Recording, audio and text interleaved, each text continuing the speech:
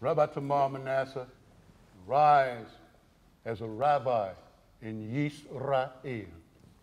Turn towards the congregation.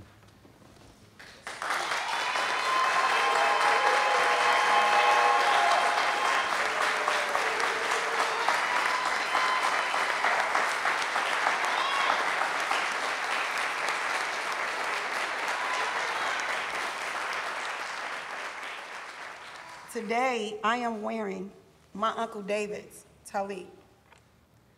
Now, when my uncle suffered and he brought our family into Israel, he never knew that one day I would be standing here. I wasn't a boy, of course.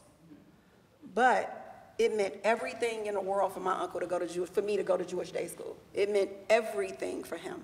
My education and my identity as an African and as a Jew was everything to him. Very early on, before I knew I was anything else, I knew that I was an African. I knew that. And I can remember I would come to temple with him, and at temple, all the Jews there looked like me. And then I went to Jewish day school. Bit of confusion there because none of the Jews looked like me. I had to remember to stay the little African girl while being a Jew. And I had to remember that the African culture was just as rich as any other, and I could be both. So I could be black and Jewish when black people said I couldn't. I could be black and Jewish when white folks said I couldn't, just like I can be a woman and a rabbi when so many people said I cannot.